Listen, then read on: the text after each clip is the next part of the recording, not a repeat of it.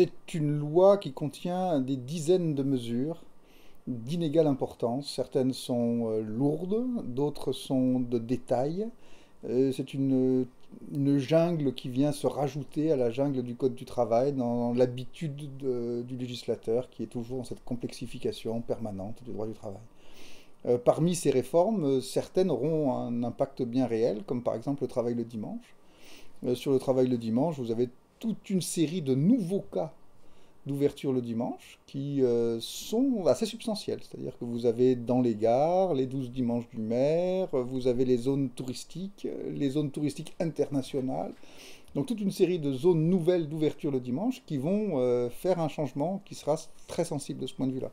Vous avez le travail de soirée, qui est une innovation euh, de la loi Macron, qui se rattache à cette idée selon laquelle le travail de nuit qui jusqu'ici était plutôt entre 9h du soir et jusqu'à 6 ou 7h du matin, euh, pourrait devenir un travail seulement entre minuit et 5h du matin. Nous n'en sommes pas là, mais le travail de soirée, c'est l'idée selon laquelle avant minuit, c'est pas tout à fait la nuit, et dès lors, euh, on peut avoir un régime particulier. Alors c'est encore dans des cas très particuliers, mais on connaît le législateur.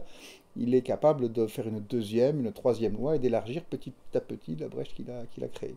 Sinon, vous avez des, des changements importants en matière de prud'homal, par exemple. En matière prud'homale, vous avez le bureau de conciliation, qui devient un bureau de conciliation et d'orientation. Alors ça, c'est un peu de la communication.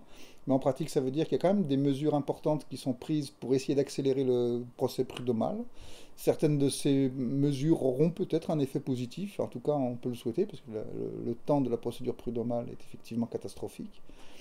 Euh, vous avez ensuite certaines mesures sur les accords de maintien de l'emploi qui sont Désormais, ce sera un petit peu plus long. Vous avez des accords de maintien de l'emploi qui peuvent durer 5 ans, c'est beaucoup. Euh, l'idée selon laquelle l'accord collectif peut modifier et détruire des avantages qui sont contenus dans les contrats individuels de travail est présente. On en, on en rajoute encore un petit peu. Alors il y en avait déjà avant, ils vont encore en rajouter ensuite. Vous voyez, ce sont ces lois pointillistes qui, toujours dans la même direction, creusent, creusent le même sillon en faisant des petites réformes, des petites réformes, mais qui changent finalement à la fin assez substantiellement notre droit du travail.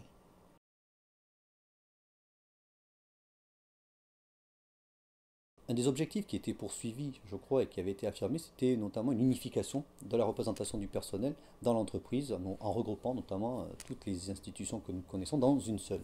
Alors, on ne trouve pas ça dans la loi, mais la loi incite à cela de deux manières. D'une part, en étendant ce que nous appelons la délégation unique du personnel, et d'autre part en permettant dans les entreprises de plus de 300 salariés de fusionner dans une seule institution, qui d'ailleurs n'est pas nommée dans la loi, à la fois les délégués du personnel, le comité d'entreprise et le CHSCT. Donc on a un objectif de simplification, mais un objectif de simplification qui est laissé aux partenaires sociaux, à la négociation collective. À côté de cela, nous pouvons également euh, souligner la création, parce que ça a donné lieu à de fortes réticences et de forts débats, notamment de certaines organisations euh, patronales, la création donc des euh, commissions paritaires régionales interprofessionnelles. Alors leur mise en place est un peu décalée dans le temps, puisque ça n'interviendra que en juillet 2017, mais nous avons là la création d'une instance de représentation du personnel, c'est ainsi qu'elle est qualifiée, qui permettra donc la pénétration des représentants du personnel dans les toutes petites structures, les entreprises de moins de 11 salariés.